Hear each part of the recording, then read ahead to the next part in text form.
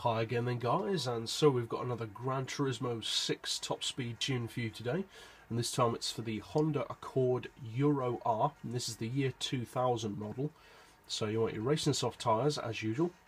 For suspension we've lowered the ride height to 100 front and rear, springs to 725 and 475, dampers to 4, anti-roll to 5, camber on 2, neutral toe as always, for the gearbox, we've got an auto setting of 180. Then for the individual gears, we've got 2.8. And then for second, third, fourth, and fifth, all the way to the left. And then sixth on 0.725 with a final drive of 3.5. For the diff, we've got torque, acceleration, and braking all on 30. All the power upgrades, of course, and although I haven't fitted it, as always, I would recommend having NOS. And of course, you want the full weight loss package. Traction control is of course turned off as always. And so this particular Accord is quite a bit quicker actually than the newer version. The newer car has similar specs, but it's simply not as quick. Now, this is in effect a Type R model from what I understand. I'm, I'm not the biggest of Honda fans, but I'm sure there are people who tell me I'm wrong in that, but it's essentially a Type R from what I understand, the Euro R. And it's a pretty decent car. It has a cruising speed of just under 220, which is pretty decent for a 425 horsepower car. It is of course very light for a saloon, which does help it a lot. And it's a pretty good track car as well, because of being so light.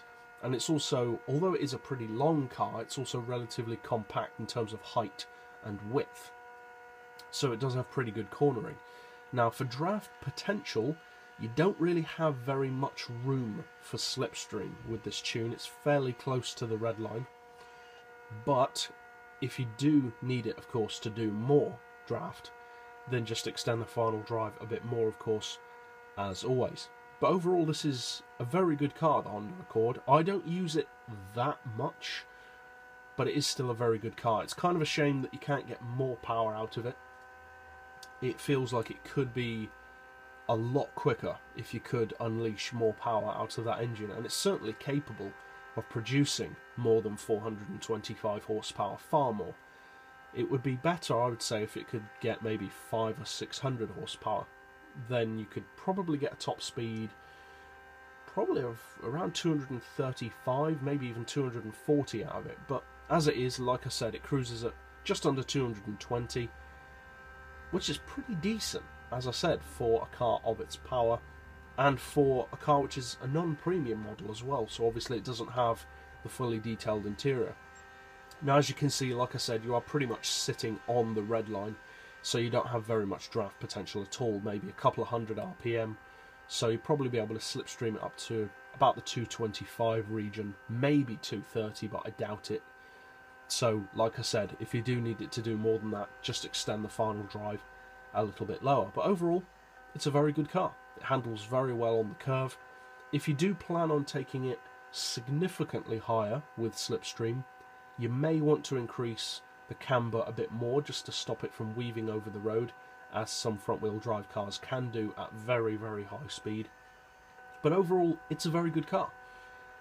So, if you decide to use this tune, I hope you find it, of course, helpful and competitive.